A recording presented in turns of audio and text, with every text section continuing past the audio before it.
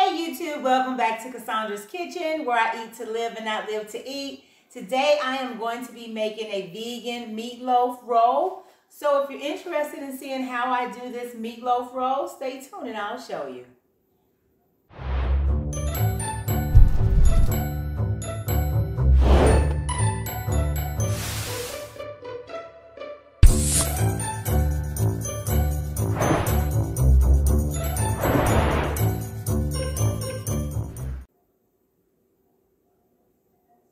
All right, guys, so here we're going to be doing a meatloaf roll. I was making a meatloaf today. Um, well, happy Easter, happy Resurrection Sunday, I should say. Um, so I wanted to do a meatloaf today, and then I was like, hmm, what if I do a meatloaf roll? Like, do it like a, prepare it like a meatloaf, and then just stuff it and roll it and put it in the loaf pan. Interesting, right? I know. I just came up with it. I've never done this before. So if worst case scenario, we'll have meatloaf. But I'm attempt to do this meatloaf roll. So what I'm going to be using for my meat today, I'm going to be using the plant-based um, Beyond Beef. It's um, It has no soy, no gluten, um, 20 grams of protein. I don't use a lot of the um, processed or plant-based meat alternatives. But I've tried this one. This tastes more close to ground beef to me. Um, so this is what we're going to be using. And we're going to just mix it just like we would our um, meatloaf. So let's go ahead and get this in here. And I'm using two packages because I want it to be a pretty nice loaf. So we're going to use this. And I'm just going to put in here the normal stuff you would put in a meatloaf. So. And I did bring my gloves today because I'm going to have to use my hands and I don't want all this in my fingers and so we're going to put on my gloves here so we can get everything mixed up really well. Although I take my ring off when I'm cooking, so I don't have to worry about getting all that down in my ring. Okay, voila. So what I'm gonna do is just kind of break this up a little bit. It's um looks like ground beef in a sense. It looks more like ground beef when you cook it than it does when it's raw like this. So, uh -oh. Okay. And so what I have here, what I'm going to be using for my meatloaf, I have some sweet bell peppers, just some green and yellow peppers. I can't hold it. These gloves make everything a little slippery. And I have some onion. And what I did, because I want it to be, I cut them real fine so they can roll in here really good. So we have onions, peppers, have a little bit of fresh garlic.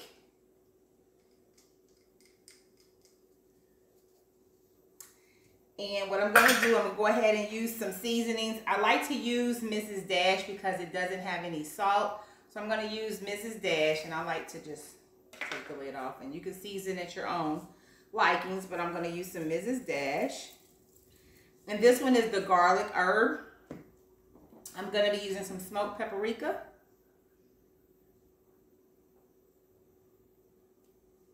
I'm going to use a little bit of black pepper. we definitely want our meatloaf to be good and seasoned. I'm going to use a little bit of pink salt. I'm going to use a little bit of my spike seasoning. Okay. We're going to mix this up. And I know with meatloaf, we usually use eggs. So what I'm going to use is a little bit of my uh, flax egg for this. And that's just flax meal with um, one tablespoon of flax meal with three tablespoons of water. That's equivalent to one egg. And I'll grab that and get that in here in just a second. Okay. Just want to work this in here really well to get those seasonings in here. Okay. Let's see. Okay. I think this is mixed in here good. Make a little center for my egg. And this is our flax egg. I'm just going to pour that in here. You see how it's kind of mushy like egg? And that's just two, equivalent to two eggs. I'm going to get that in here. And I know some people use breadcrumbs or some type of uh, bread or chip or something. So what I'm going to use for mine, I just chopped up a little bit of my um, organic um, tortilla shells. And I think I've showed you guys these before, but um, they're red quinoa. They're the red uh, quinoa chia chips by um, Wild Roots. I love these things. They are so delicious. I keep these at all times with some salsa or hummus. They're really good. But I'm gonna I just crunched up a little bit of those. So I'm gonna put those in here as my breadcrumb. And you may not even need that actually, but I mean, growing up we always would put breadcrumbs in there, so here we have it. Just give it a little bit more flavor. So, oh yeah, this is mixing up really well. So we got all of our seasonings in here. What I wanted to add that I don't have right here is just a little bit more of my garlic. I didn't chop up enough garlic. So, I'm going to put just a little bit of my garlic powder in there. Okay. Just a little bit. Okay, yeah. So, this is where we would normally put it in the meatloaf pan. But because I want to try something different, I want to try to stuff this with some mushrooms, some fresh kale, and some smoked Gouda cheese. And then put it in the oven and then top it off with some, you know, maybe with some smoked Gouda or some barbecue sauce. My husband would probably prefer the barbecue sauce. You know, you can top your meatloaf with basically anything. But I thought this would be very interesting with some smoked Gouda, some fresh kale, and mushrooms. So, to do that, we're going to have to get it laid out. I'm going to use some parchment paper here. And I'm going to use my little loaf pan. So, this is what we're going to attempt to do. Like I said, if it doesn't work, we're going to make meatloaf. What I'm going to try to do is maybe roll this out. So, we'll see. I'm brave to do this for the first time in front of you guys, but hey, I trust y'all. No judgment, right? So, just gonna get this kind of spread it out. Got everything in here.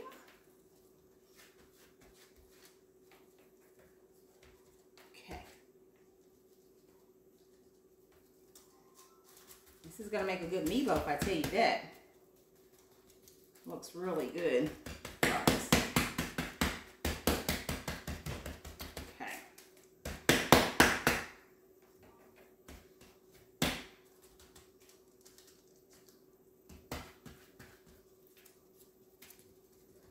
Okay, so let's see. This hand is pretty clean. So, we have mushrooms, and I'm going to use smoked Gouda cheese. I'm just gonna take this off now so I can use my hand.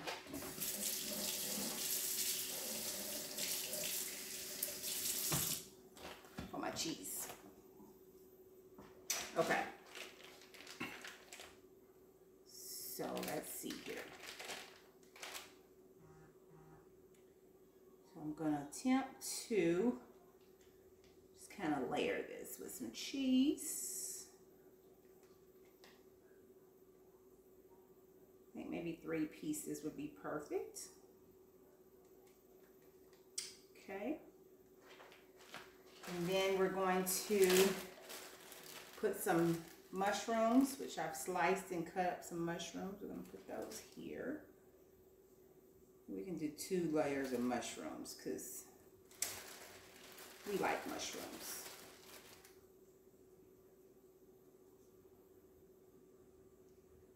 Okay.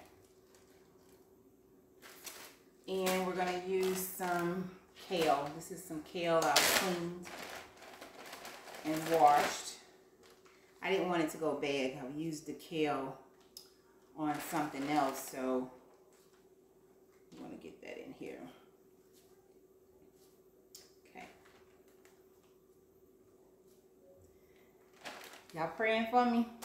Okay. So maybe I should put a little sprinkle of seasoning on top of my kale. I think so.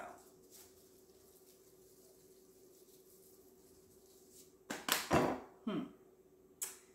And maybe, can't go wrong with cheese. Let me see. Maybe we do a second layer of cheese.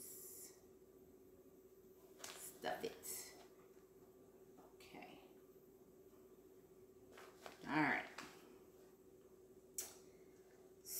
So, let's see. We're going to try to roll this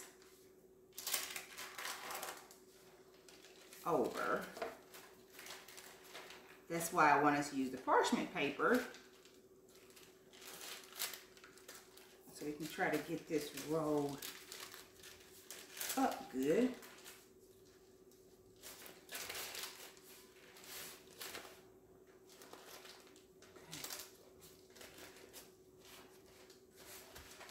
Going to need to make sure it fits in our pan. So we're going to have to bring the sides in just a little bit. Just fine. Because it's meat. Well, meat, meat, uh, alternative, alternative meat. So, but we can mush that in there. Okay. I think that's going to be the size of our pan. So what we're gonna do is try to get this down in our loaf pan. Okay. And I would rather have it, you know what? No. Aha. I'm making myself try to do too much, but I actually want to keep it in the parchment paper so I can take it out. When it's done. Me see. Come on, meatloaf. I think I made it just a little bit too big. But we're going to get this in here.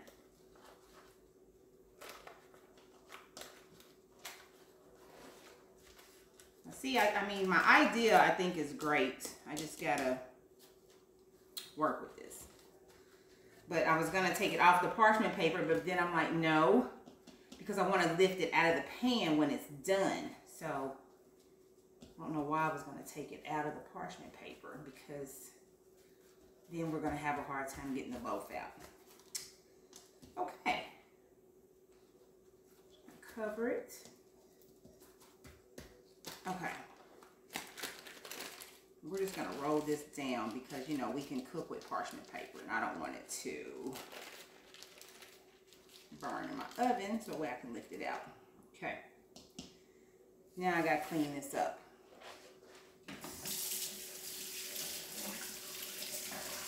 But y'all, I think this is going to turn out good. I'm going to keep my fingers crossed on it. Um, if not, the second time I try it will be good. I'm just, you know, like I said, I am playing around here with something. Trying to be creative. It's Easter Sunday and I wanted to just make something good. My husband did some um, green beans and some potatoes together and we love his green beans and potatoes. Of course, we didn't video that. And I made some cornbread and we're gonna do a little bit of macaroni and cheese. Um, so, but I did want to show you guys the meatloaf. So what I'm gonna do, I'm gonna go ahead and put this in the oven. I'm gonna let this bake probably a good 30, 40 minutes in the oven. And then once it's prepared and ready to come out and we sauce it, I'll bring you guys back on, let you see what the meatloaf looks like. And hopefully it's what I'm thinking it's gonna be when we cut in it to have that cheese, mushrooms, and uh, fresh kale along with the peppers and everything on top. So stay tuned. This is going in the oven and I will show you what it looks like when it comes out.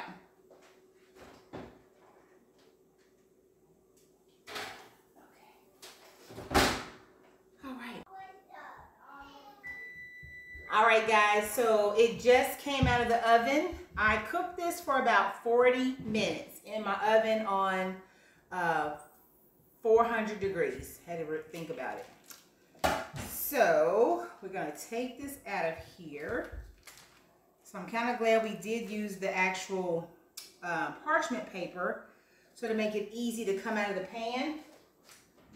So what I want to do I want to slide this out from under here.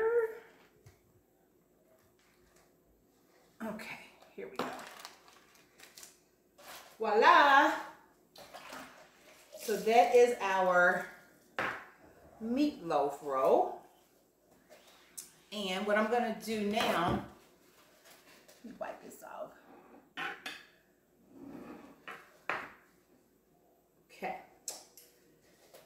Then we're just going to top it with some Sweet Baby Ray's um, barbecue sauce.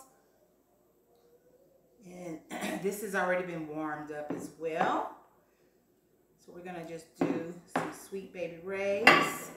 And you can put your traditional ketchup and or tomato paste seasoning on top of yours.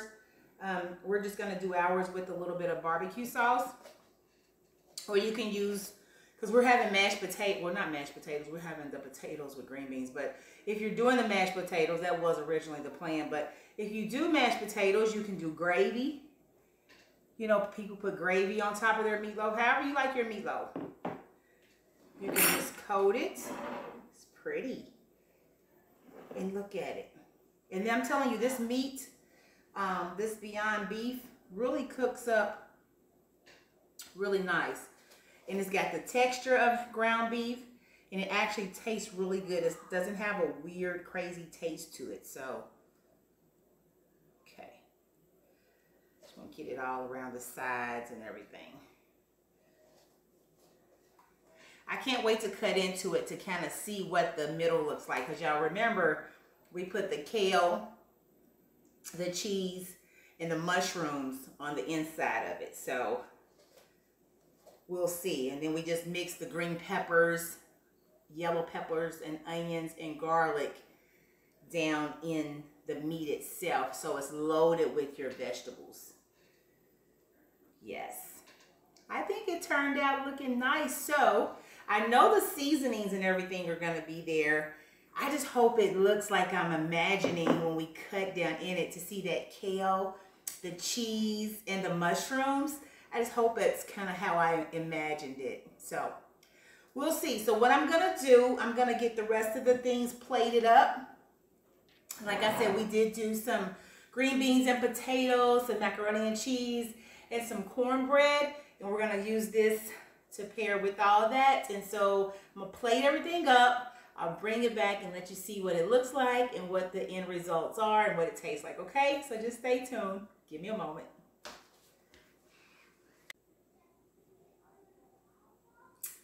All right, guys, we are down to the finish line here. So, like I said, we have prepared um, some green beans and potatoes. This is one of my husband's little signature dishes he used to make.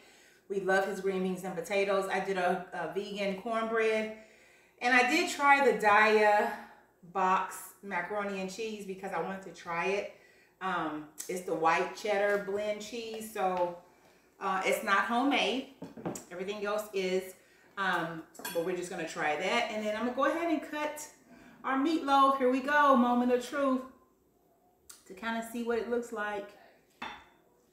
It's moist. It's juicy. Okay, not bad. Let me see. Y'all see this. So I don't know if you can see it or not. But you see the kale in there is cooked good. You got the cheese. And we got the mushroom. So it turned out really good. Like I said, it's real moist and juicy. But this is my cooking, it's my opinion. So I have to have someone taste it for me. And look, it holds it holds together really nice. So we're gonna put that there. A little bit of extra of the kale. And so this is the plates. Voila! Sunday dinner. The meatloaf looks good and juicy. So, I'm actually going to call my assistant in here to help me, Mr. Coleman. Yes. Can I have your help, please? Yes, you may. My favorite time, y'all. Yay. So I want you to taste this, but I do want to get a picture of it before. Because I'm going to use this picture for my channel. There's my channel photo, because this is cute. Let me make sure it's working, y'all. Y'all know I'm extra, sorry. Okay. So, here is the moment of truth. So what do you think? It looks delicious. Well, I already know your potatoes and greens are gonna be It looks good. real good. Looks oh my good? goodness. And do you need a knife for the meatloaf, or you just want to use? No, I can just chop into it It's with this. it's with this. moist, right? Yes, it looks really good. And the cheese and the So- peppers and everything in there. Moment of truth, y'all.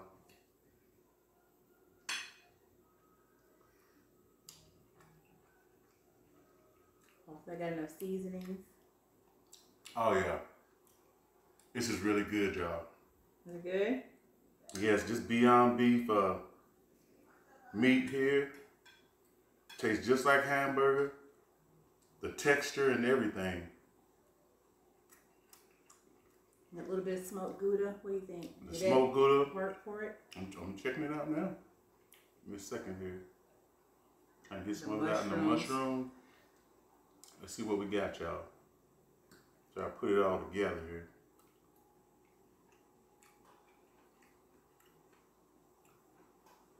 It's really good. It's good. Really good. It looks good. I, I just It's amazing. I can keep eating you want me to. well, you want to try it? I'll taste it. It really is good, y'all. She did a great job making this meatloaf on this Easter Sunday, you know? Mm. Mm. It is good. It's really moist. I'm gonna try some of this macaroni here. And your peppers and everything in here. That's really good. Mmm. Yeah, I'm ready to sit down and Yeah. eat now. This Daiya cheese, this is the first time I had it. You know, I, it's the first time I ever seen really like white, you know, shell noodles.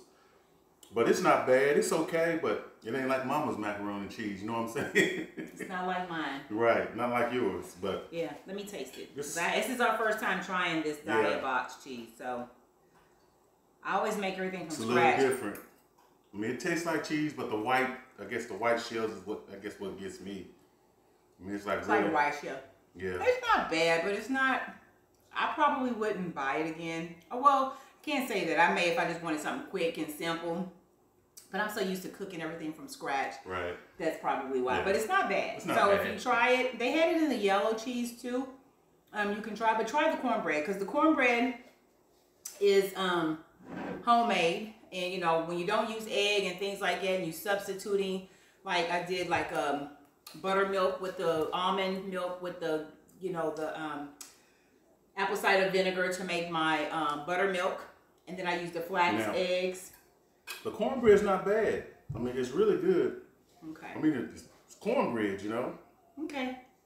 Well, So there yeah, you have really it. We good. really was on here for the meatloaf, so but I wanted to do the presentation with our whole dish tonight. So try the meatloaf recipe. Yes. Let me know if you like it. It's really good, y'all. It really It- is. the meatloaf is on the point. Meatloaf, the meatloaf is off the chain. It's really good. It's on point. You So yeah. try it. You It's know what to do. If you like this video, give me a thumbs, up. Give me a thumbs up. And share this video, Yes, of share it, course. y'all. Share with friends and family because hey, someone may like this recipe. Like I said, the meat, um, the Beyond Meat, you can get it from Target. You can get it from Kroger. Oh yes, Kroger's Kroger, you can get it from Mhm. Sprouts, you can get it from Whole Foods. A lot of places are starting to carry it now. It's just a package um, meat. Like I said, it's ground meat. ground. You know, it's the ground meat alternative. Right. So no soy, uh, gluten free. So try it out.